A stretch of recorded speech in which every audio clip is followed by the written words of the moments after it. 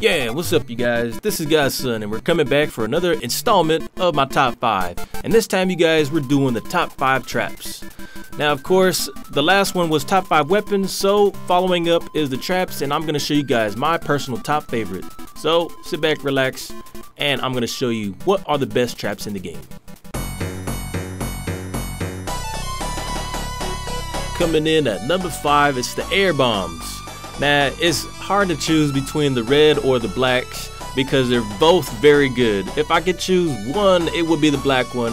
However, since they're both air bombs, we'll just use both of them. Uh, the reds, if you didn't know, are for taking out waves of enemies, and the black ones are for doing massive damage on big troops such as the Lava Hound and dragons. Of course, you guys, it brings a nice balance to the game to stop these air troops because the air defenses just can't handle all of the troops by themselves. So when you have traps that target multiple enemies like this, it's a good thing. And so the red air balloon is 173 damage and costs 6,000 gold. The black air balloon does 2100 damage and costs 20,000 gold when you max it out to level 3. So when you get those fully maxed out and you upgrade them, they can be really good at defending your base and taking out all of these air troops that seem to just overpower bases, especially Town Hall 10s up here in the champion level.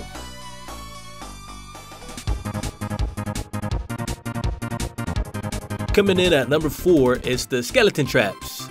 Now why am I choosing the skeleton traps air mode over the balloons? Well that's because the balloons are a one use only, they hit the target and then they blow up. However with the skeletons, they can keep fighting and they go for the next target. And in ground mode, they help distract the enemies that are attacking your town hall. They can pull them away and get them away from your town hall.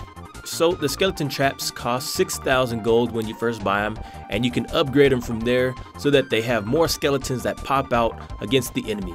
Now you get three of them and you should be able to place them wherever you want on the map because they only take one tile now they aren't meant to be strong opponents, they're pretty weak, and they just serve a purpose of distracting if you're putting them in ground mode. But I believe they are perfect for balancing out the ground and air attacks now, so that's why we have them. Coming in at number 3 is the Spring Trap. Now the Spring Trap is good for any target except for heavy troops like the Golem and the P.E.K.K.A. and heroes.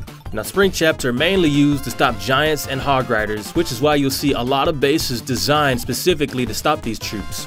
Uh, when you have a bunch of them gathered up, you can get at least three giants and a few archers and goblins if they run over them. Now you guys, I would choose the Santa Strike, which is uh, something you get on Christmas. However, it is only a once out of the year trap that we get. And so when players ran over it, Santa Claus would come and drop presents causing explosive damage on troops that are attacking your base. And uh, some people actually decided to decorate their base with it, making it a really cool trap that we got. So shout out to Santa Strike.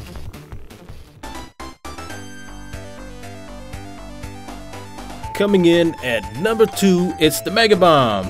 Now the Mega Bomb can actually go up to level 4 with 250 damage and cost 20,000 to rearm it. Now primarily, Mega Bombs are used to stop waves of enemies such as wall breakers, hog riders, wizards, giants, you name it, they stop them. And what I really like about the Mega Bomb now is that they can stop the hog riders which some people might disagree with. I kind of do, but they were a little bit overwhelming for players down in the lower levels like Town Hall 8s because Hog Riders could just overrun bases and 3-star you without a problem. And so now that they uh, are doing such heavier damage on troops like Hog Riders, they, they just balance out the gameplay for us. So you guys, this is coming in at my number 2 spot, the Mega Bomb. Coming in at number one is the Hidden Tesla. Now I know what you guys are saying right now. Godson, this isn't a trap, it's a weapon. But you guys, I'm looking at it what it says. It says it is a trap and it serves like a trap. So if it is or if it isn't, I'll just treat it like one for my top fives. Uh, but I do like the Hidden Tesla. It's invisible and it pops out just like any trap when enemies go near it causing damage and you can upgrade it to really high levels such as level 8 where it does almost 100 damage from 7 tiles away.